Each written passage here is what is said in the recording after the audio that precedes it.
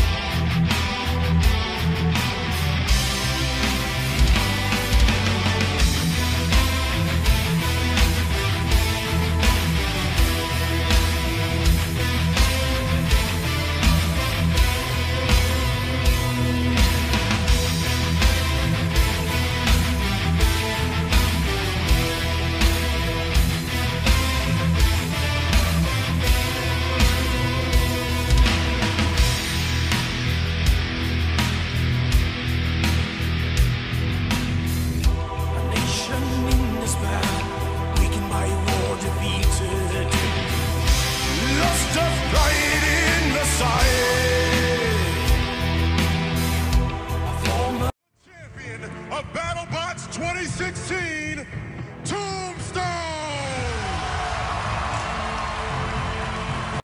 I'm a happy man right now.